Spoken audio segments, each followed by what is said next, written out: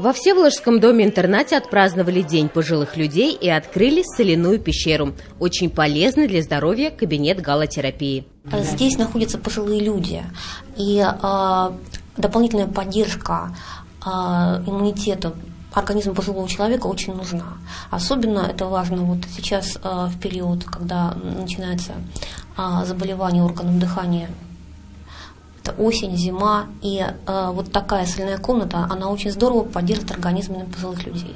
Все заботы на обустройство кабинета легли на плечи региональных строителей. Два года назад они взяли шефство над этим домом. Они нам сделали великолепную прогулочную площадку, сделали красивый нам пандус, который помогает колясочникам спуститься, да.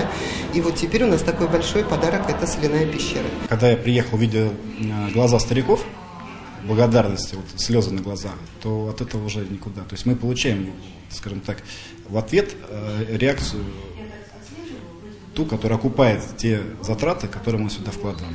Мы складываем труд и общность э, финансовая наших членов Союза.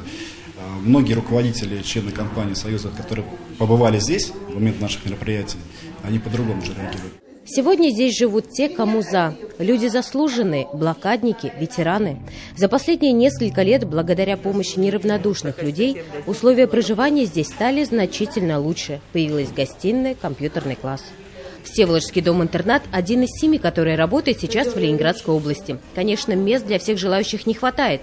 Поэтому до конца 2015 года, года старшего поколения в Ленинградской области, в Киришском районе откроется современный геронтологический центр. Там сейчас активно ведутся ремонтные работы.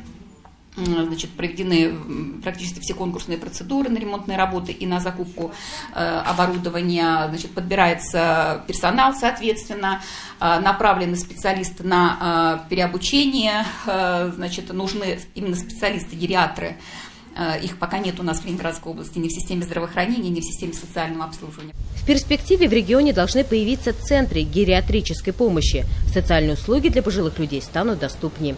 Тем более, что каждый четвертый житель 47-го региона – пенсионер.